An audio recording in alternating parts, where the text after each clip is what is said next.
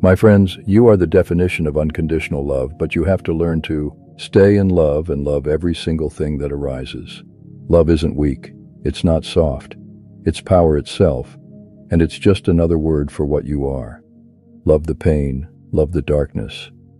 The only reason, or I'll say one of the reasons, why we believe thoughts and emotions are negative or bad is that we separate ourselves from them.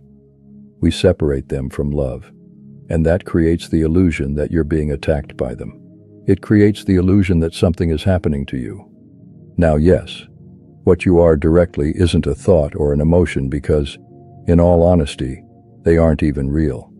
They're just another appearance being dreamed of by consciousness. But at the same time, nothing in this dream is separate from you. Nothing is separate from love, because all there truly is, is love. I always use the screen that a movie is playing on to describe what I mean by that. The screen itself isn't the content that's being played on it, but whatever is happening on the screen isn't separate from it. You can't find the separation between the screen and the content that's being played on it, because it's all one. So even though thoughts, the body, emotions, this world, etc., aren't real, love is. This whole thing is your creation. Have fun with it. Love fear, love anxiety, love doubt, love all of it. When you bring these appearances back home, they can no longer affect you.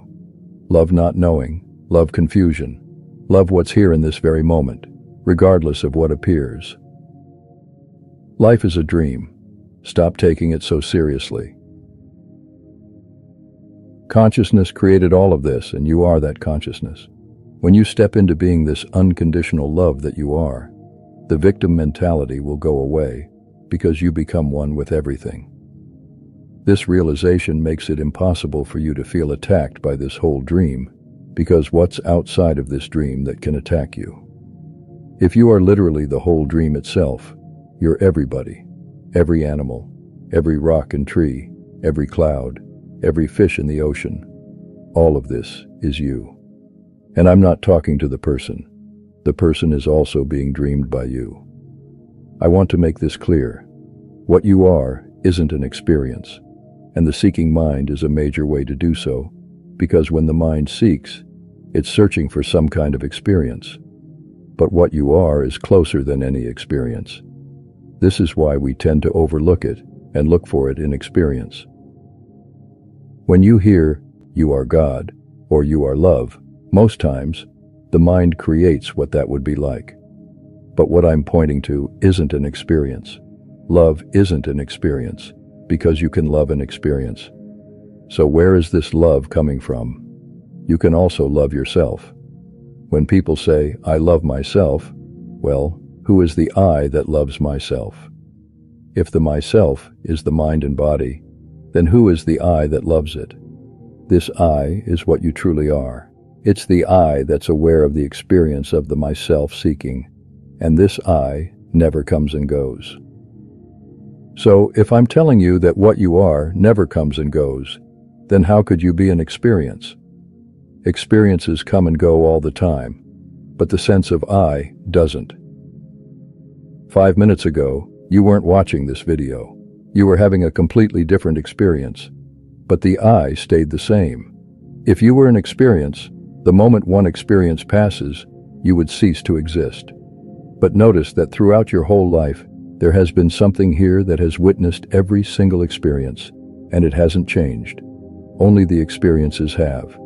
It has never left your side, regardless of whether you were aware of it or not. Go to that which is witnessing experience. That is the true sense of I, and it's not actually somewhere you can go to. It's here and now. And if the mind starts looking for something, notice you're aware of the experience of a seeker looking for what I'm pointing to, and love that. Also, notice that you don't have to try to be the awareness that's aware, because even the activity of trying is effortlessly noticed by what you truly are. And this very simple being of that awareness is what you are. That is God. That is what's in touch with this whole dream. That is what you really are. That is the unconditional love.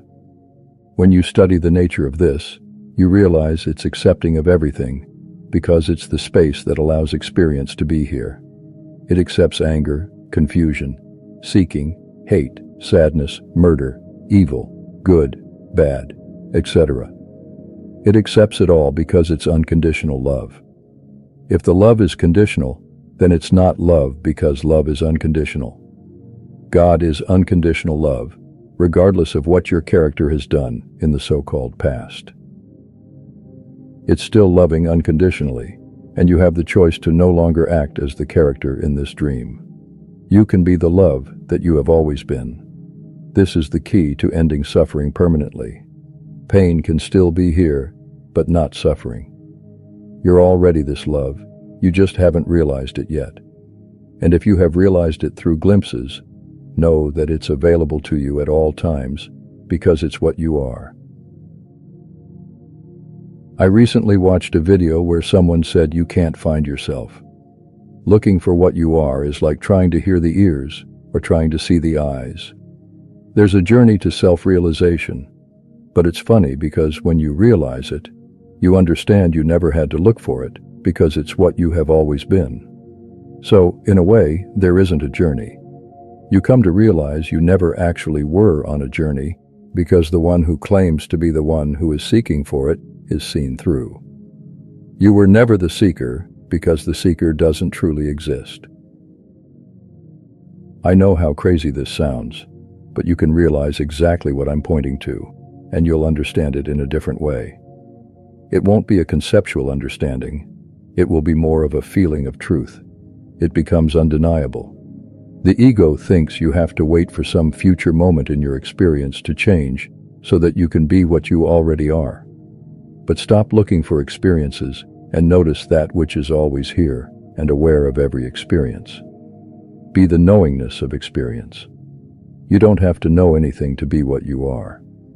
You are this before you learned anything here on earth. You are the sense of knowing, not the one who knows something, but the one who knows the one who claims to know something. You don't have to think about what this is. You can't think about what you aren't because what you are is the awareness of the thoughts that are trying to figure out what you are. So do not know you, but you know thought. Go to that which knows thought. Thoughts do not know love. This is why everyone has their own definition of it, because love, God, you can't be described. You literally can't be talked about. So don't lean on your own understanding of this. Become comfortable with not knowing anything because what you truly hear knows nothing. Only the ego can claim to have knowledge and know something. That's why it's so hard to talk about this. And honestly, the more I talk about it, the more I actually want to stop, because I know how the mind can take this information. But I know it can help if you are listening to feel into what I'm saying instead of trying to gain more information. I know part of you resonates with what I am pointing to. It's why you continue seeking. So, if you had to take one thing from this video, it would be to have unconditional love for whatever arises. If you're asking how to do that, first know that love isn't a human thing. It's not an activity done by humans. You can't do love, you can only be it. And don't get confused with all the labels. Love is just another word for consciousness, or God, or awareness. It's another name given to you, but you can't think love or try to imagine loving something necessarily. You can only be love. And when you're being love, you're being God. You're being this one and only consciousness. You're being your true nature. So relax. I know there may be some blockages in the heart, so love those. Love that you feel lost. If you feel lost, love that the mind is still seeking and know that you're only able to love these appearances because they don't define you. Thoughts don't define what you are. The body doesn't define what you are. But don't push them away and make them appear separate from love. Bring everything, including your dark side, back home to love and light. Only the light can survive in darkness. I love all of you and look forward to your comments. Walk in light, my friends. Until next time, my friends, I ask all people everywhere to plant seeds of love, peace, joy, and oneness.